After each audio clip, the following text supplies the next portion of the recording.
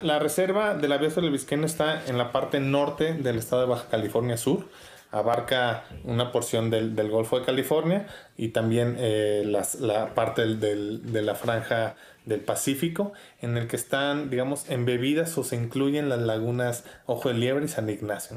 Entonces tiene una extensión en su conjunto de un poquito más de 2 millones y medio de hectáreas. Correcto. Entonces es una eh, es bastante grande. ¿Es la más grande de todo México?